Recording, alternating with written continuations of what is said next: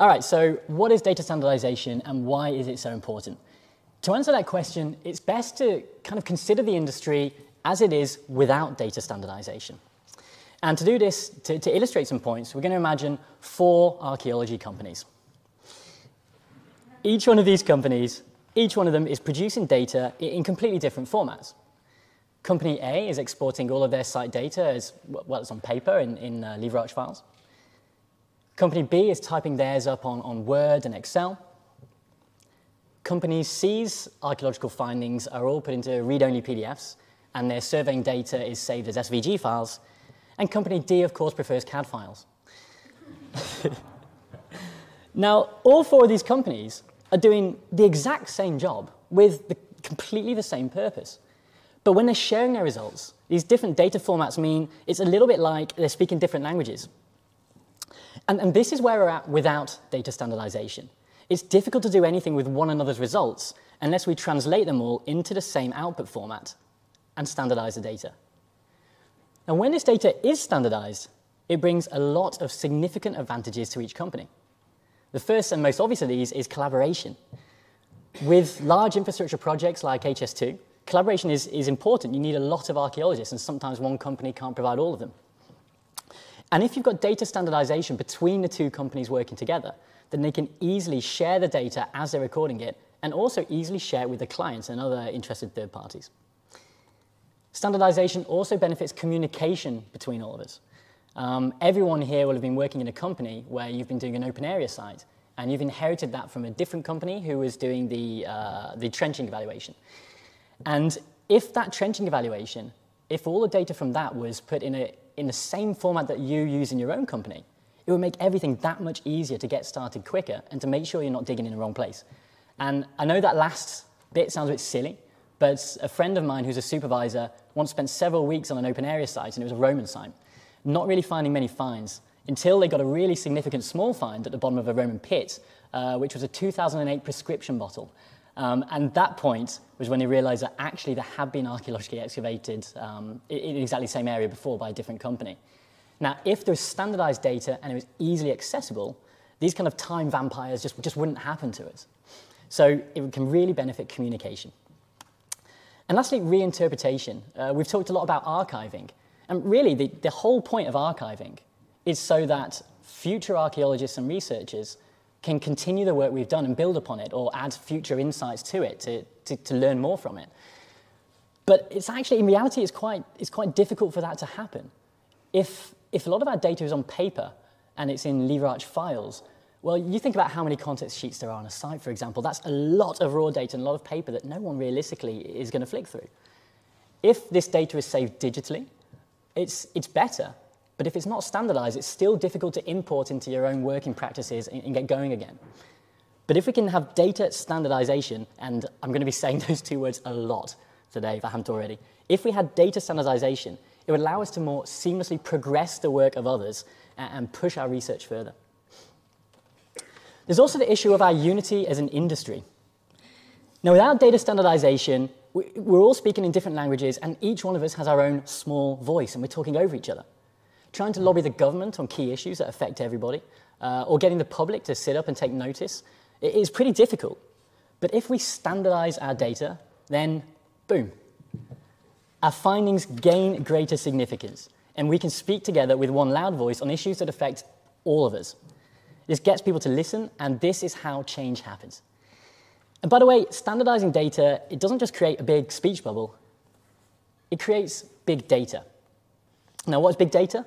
Essentially, it's when quantities of data are lumped together in, into groups that are so big that normal human beings, we, we can't really make sense of it. It's just too much. Um, but if all this data is standardized uh, as big data, then we can use software to spot the trends uh, that are revealed throughout. There's, trends, there's patterns, all kinds of things we can't see if we're trying to flick through context sheets. So big data is extremely important for our understanding of archaeology. And it's also the evidence we use to justify our industry-wide needs and discoveries. And speaking of discoveries, big data can help us better identify and track large-scale archaeological phenomena uh, and also trends such as changing environmental circumstances, population migrations, the growth and flow of trade, and the evolution of technologies and fashions. In fact, there's so much more that we have yet to learn or even know we need to learn because we haven't got the big data there available and it's not standardized. So there are loads of reasons why we'd all benefit from data standardization. But if the benefits are really that obvious, why, why hasn't it happened yet for archaeology? Well, actually, there have been plenty of moments where we have been standardizing our outputs, but it tends to look like this. We continue recording using the systems that we always have done, and then we all export our stuff in our preferred formats. And then once a job's finished, a client or interested parties come back and say, right, can you standardize that, please?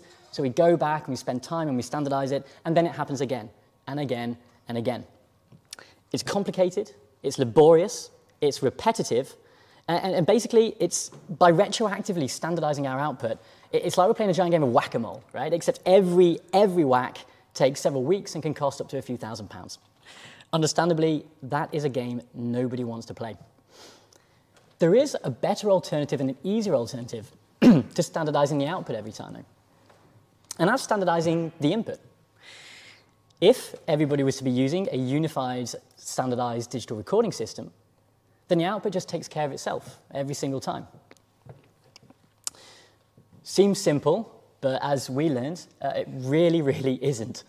Um, there are lots of complex reasons why archaeology hasn't had one of these yet, and that's a whole other presentation. So we're really just going to look at a couple of the main ones. And the first is that the kind of software companies that could develop something really powerful for us, they're just not interested. And, you actually, it sounds harsh, but you can't blame them, right? Archaeology is seen as a comparatively uh, small and heavily fragmented industry. Also, our needs are incredibly subject specific and complex. They're almost impenetrable to, to an outsider unless you have to speak for a long time. And even then, they'll say, okay, how long will it take us? You know, what, what's a market cost? What's a benefit? Um, this is why big companies aren't really going to make something for us. But we all kind of know that, uh, which is why we've been seeing something pretty exciting over the last five years. And that's that some of the bigger archaeological units have been developing solutions. Now, as someone who loves archaeology and is a massive nerd and loves tech, this has been so cool to see. Um, I've been looking at all the different CIFA presentations. Every time someone shares about their, their recording system, we're glued to it. We plug it into the TV, watch on a big screen. Um, and it's fantastic uh, what these companies have been doing, and they've really been pioneering and leading the way for everyone else. I really believe that a, a rising tide lifts all boats, or something to that effect. Um, and, and basically, by, by these companies pushing digital recording, it's got everybody to turn and look at the benefits of it, because it really is the future of our industry. So that should absolutely be applauded. But there are issues with some of the things that we've been developing. Now, big sweeping statements here, so don't worry, but some of the, some of the software that we're using uh, to make these solutions that wasn't designed for archaeology at all. In fact, most of it is, is office-based software. And this comes with intrinsic limitations. Uh, it has challenges in terms of complexity, connectivity, and compatibility. And again, that's another presentation. But, but the limitation of this software is, is one of the problems with it being ubiquitous, becoming ubiquitous, one, sort of one hurdle there. And another issue is, is commercial archaeology itself. Commercialization allows companies as individuals to experiment and innovate. But if an individual company was to develop a digital recording system that gives a significant competitive advantage, for example, if it makes uh, our workflow a, a lot faster and saves a lot of time, and make no mistake, a good digital recording system absolutely does that. Well, then there's no incentive to share that because as companies in archaeology, everybody survives by the work that they win tenders for. So sharing this kind of innovation with competitors doesn't, doesn't make any business sense. Um, again, there are cases where this is happening anyway, and it's brilliant. So, so these are two of the bigger problems as well. So what's the solution to each of these?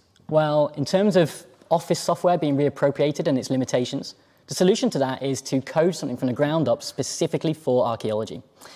And with regards to the uh, competition issues, it, it needs to be done by someone independently. Well, the perfect people to do that are big tech companies. And unfortunately, they're not interested in archaeology. And this cycle perpetuates. And this is something that I, I think is responsible for why archaeology as an industry isn't as uh, technologically specific as others. Um, we use lots of great technology, you know, drones, SFM, but we don't have any of our own stuff. And I think that loop is part of the reason why.